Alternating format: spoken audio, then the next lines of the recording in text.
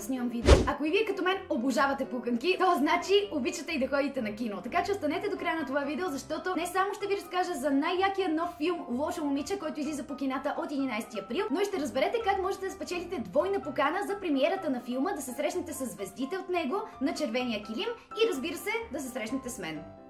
Така че да започваме с видеото.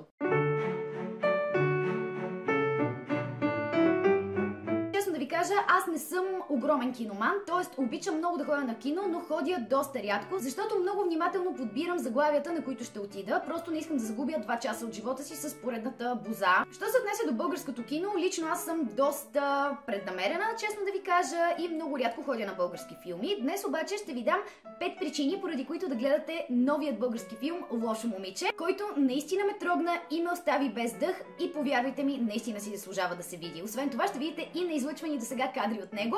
Всъщност вие ще видите първи кадри от филма което е много ясно. Преди седмица ми се обадиха хората от екипа, които са направили филма Лошо момиче и ме поканиха на една пред-пред-премиера и всъщност аз видях филма в още работен вариант.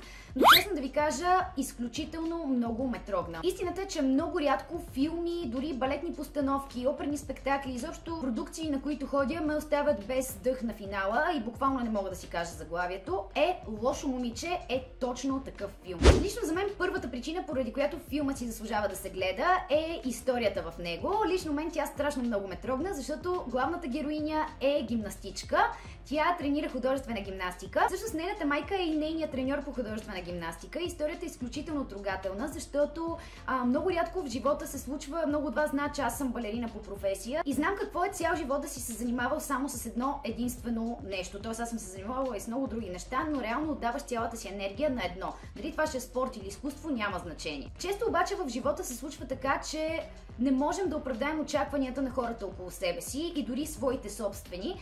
И просто, когато се сблъскваме с реалността, тя не отговаря на нашите очаквания. Такава е историята на главната героиня в филма. При нея обаче нещата се случват така, че тя залита по една доста неприятна посока. Какво обаче точно се случва, ще разберете, ако гледате самия филм. Втората причина, поради която за мен филма е страхотен, е, че в него участва отбора по художествена гимнастика. Да, сигурно това на хората, които се занимават с кино, ще им се стори не чак толкова сериозна причина. За мен обаче това е една от основните причини, поради която филма ми хареса, защото обожавам художествената гимнастика тя е много близо до, до това, с което аз се занимавам. Знаете, че преподавам балет. Извън това съм работила и с гимнастички в Италия и обожавам момичетата, които се занимават с този спорт, защото са изключително отдадени. Във филма има страхотни кадри с гимнастичките и лично на мен ми беше страшно голямо удоволствие да ги гледам. Третото нещо, което прави филма наистина изключително качествен, е разбира се актьорската игра. Сега, ам, не знам на вас дали ви се е случвало.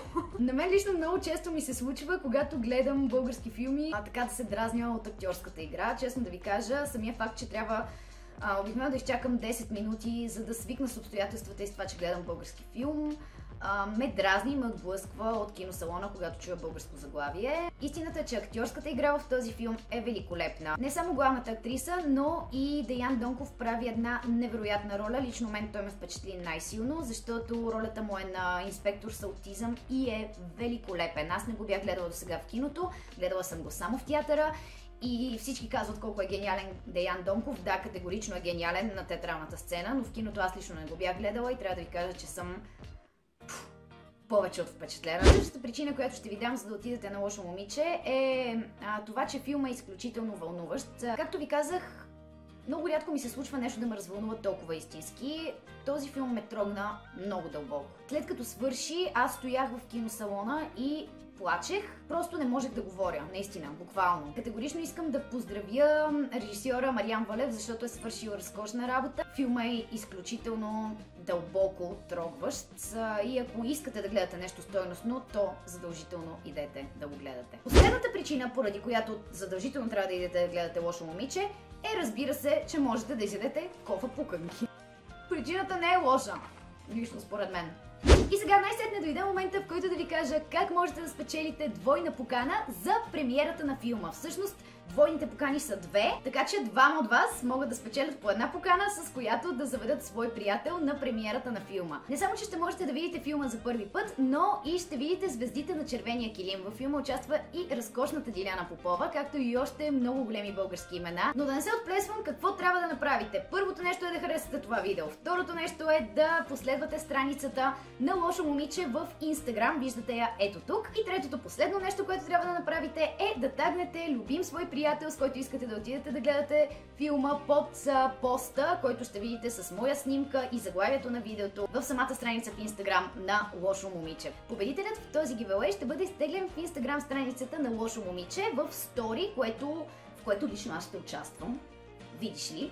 Така че следете инстаграм страницата на филма и тагвайте любим свой приятел, за да се видим на 11 април. Всъщност, може би трябваше да ви кажа, че премиерата ще бъде в Paradise Mall. Да, това е важно за хората, които не са от И накрая, разбира се, но не на последно място, сигурна съм, че много от вас ще ме попитат откъде е машината ми за пуканки. Всъщност тази не е чак толкова впечатляваща, колкото истинската ми машина за пуканки, която е в реален размер и се намира в каварна. Някой път ще снимам и за вас.